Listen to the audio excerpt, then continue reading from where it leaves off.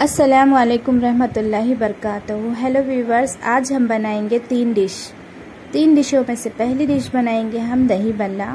उसके बाद हम बनाएँगे सिंपल माश के भजिए. उसके बाद हम बनाएँगे मूंगफली से बनने वाले स्नैक्स इंशाल्लाह आप लोगों को ये रेसिपी पसंद आएगी. तो चलिए हम यहाँ पर रेसिपी बनाना शुरू करते हैं.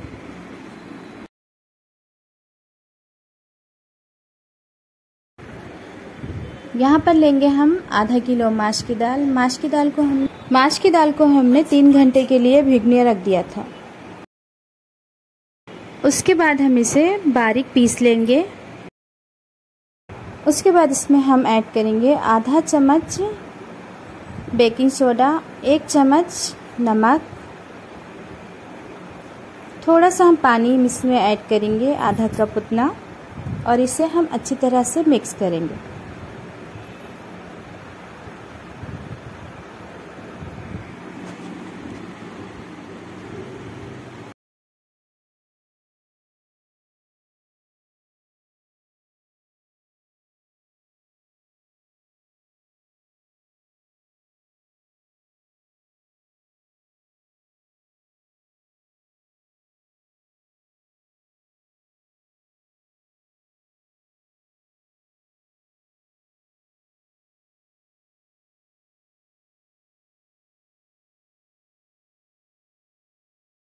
यहाँ पर हम बनाएँगे मीठा पानी।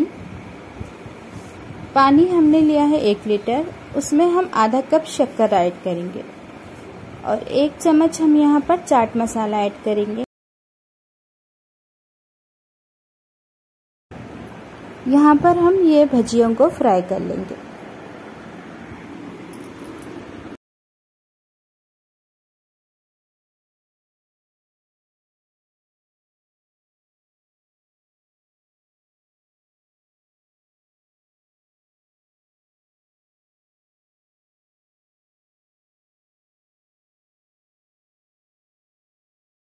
आप देख सकते हैं, यहाँ पर भजिए फ्राई हो चुके हैं। अब हम ये मीठे पानी में ऐड कर लेंगे।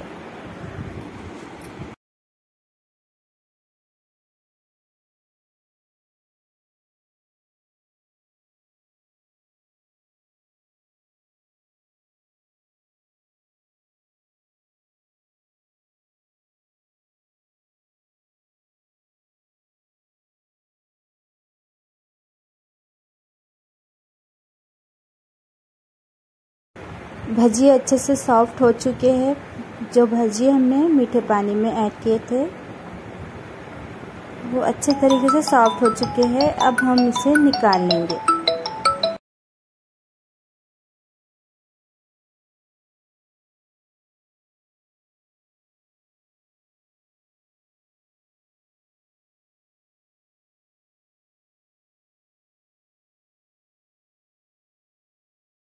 मीठे पानी में हमने जो भजिए रखे थे, वो सारे हम निकाल लेंगे। एक दूसरे कटोरे में हम इसे ऐड कर लेंगे। और यहाँ पर लेंगे हम आधा किलो दही। दही में हमने आधा कप शक्कर ऐड किया है। फिर इसे हम अच्छे से ग्राइंड कर लेंगे। और ये दही भले में इसे हम ऐड कर लेंगे।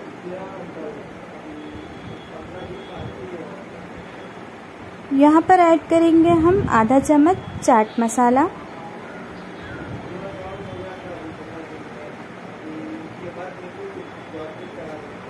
उसके बाद इसमें हम ऐड करेंगे सेव।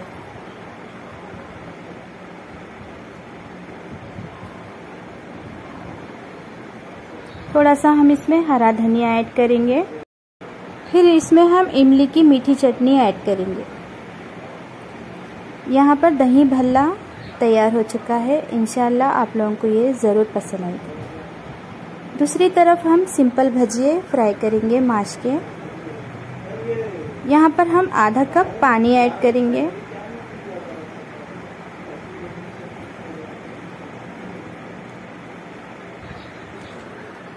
आधा चम्मच हम यहाँ पर लाल मिर्च पाउडर ऐड करेंगे।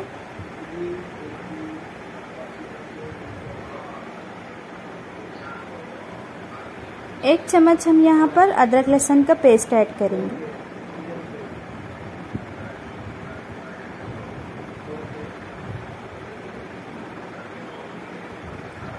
एक चम्मच हम यहाँ पर नमक ऐड करेंगे।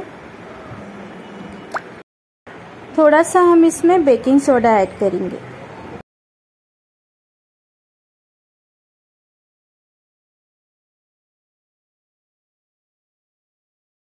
और यहाँ पर ऐड करेंगे हम एक मीडियम साइज़ की प्याज जिसे हमने बारीक चॉप कर लिया है।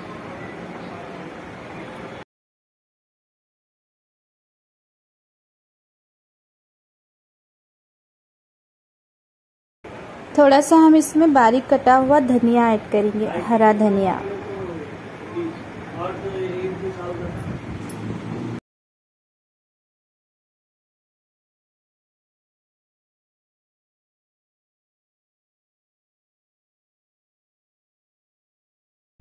यहाँ पर हम लेंगे दो हरी मिर्च इसे हम बारीक कट कर लेंगे।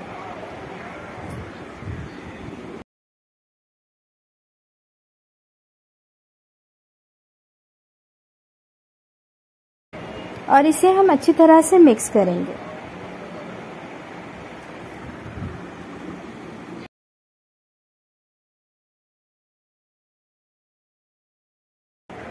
और यहाँ पर हम फ्राई करेंगे सिंपल माश के भजिए।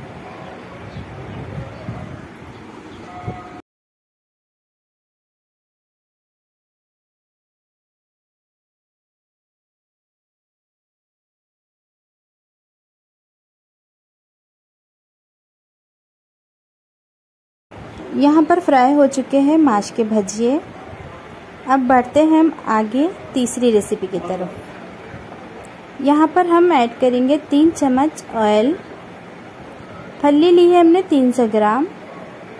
उसमें हमने ऐड किया है अदरक लहसुन का पेस्ट, लाल मिर्च पाउडर और नमक।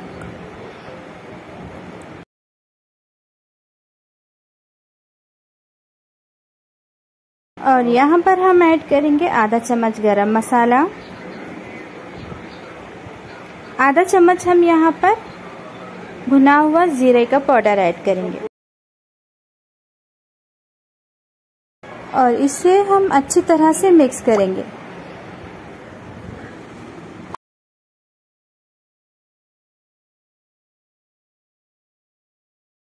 ये अच्छे से मिक्स होने के बाद इसमें हम ऐड करेंगे 100 ग्राम बेसन। बेसन हमें थोड़ा थोड़ा इसमें ऐड करना है। थोड़ा बेसन ऐड करके हमें इसे मिलाना है। अच्छी तरह से हम इसे मिक्स करेंगे। थोड़ा सा हम इसमें पानी ऐड करेंगे।